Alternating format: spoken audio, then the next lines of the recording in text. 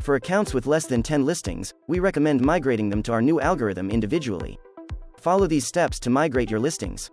First, go to the pricing dashboard by clicking on Dynamic Pricing from the top banner. Then select Pricing Dashboard. Click Row and Column Visibility. Then put a check on Algorithm Version. A new column called Algorithm Version will appear on the dashboard. Look for the listing that you wish to migrate, and click on the Start Migration button to start the migration process. The migration window will pop up. The next step is to make sure to toggle on the new algorithm switch. Then, click on the drop-down box and select the new algorithm, Hyperlocal Pulse from the two options. A chart will appear, showing you changes in your final prices with the new algorithm, and with changes you make in customizations. On top of this, you'll also get recommendations in base price and customizations. The base price recommendation is given if there is a significant difference in the average prices due to the algorithm switch. And if needed, you can manually enter your preferred base price into this box, or simply keep the recommended one.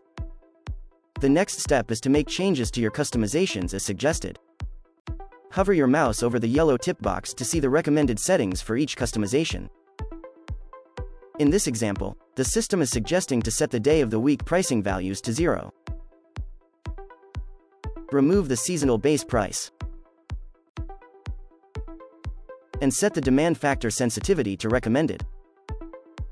After making these changes, you can click on the Refresh Graph button to update the graph. Then review the updated prices on the graph. Once satisfied with pricing, you can click on Accept Base Price and save changes to finalize the migration.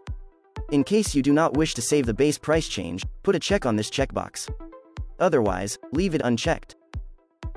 Repeat these steps for all the listings that you have to migrate to Hyperlocal Pulse. If you have listings that are mapped, the child listings are automatically migrated once the parent listing is migrated.